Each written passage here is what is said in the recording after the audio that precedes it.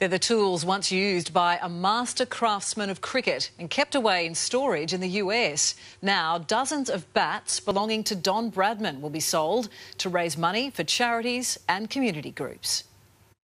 His fame is such, he need only be identified by his first name with the added gravitas of the definitive article The Don.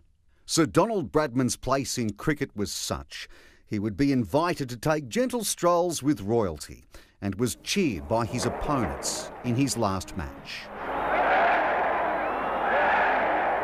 The Don's handmark was also highly prized, 99 examples of which have been found in a warehouse in Texas, his signature tattooed across 99 bats, belonging to American memorabilia businessman Rowan Klasnick. He was originally from South Africa, so he had a bit of an understanding about cricket. Um, he understood the significance of Don Bradman and what he had achieved, and he probably compared that to somebody like Babe Ruth in the States. But a plan to capitalise on the Don's future fame would fall over, largely due to the Don. There's low flying pigeons that are probably bearing his signature at the moment. He was the master of merchandising.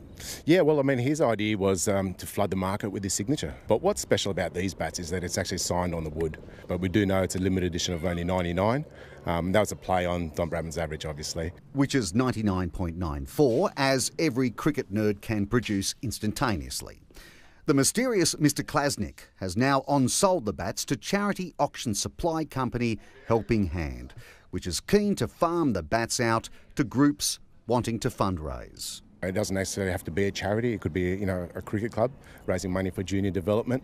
Um, anything that's um, going to a good cause, and we're hoping that these bats could go anywhere between five and ten thousand dollars at auctions. For Oliver's son Alexi, playing under 12s for Eastern Suburbs against Sydney Coastal, he was contemplating how one in his kit might help with his batting. Probably a lot better.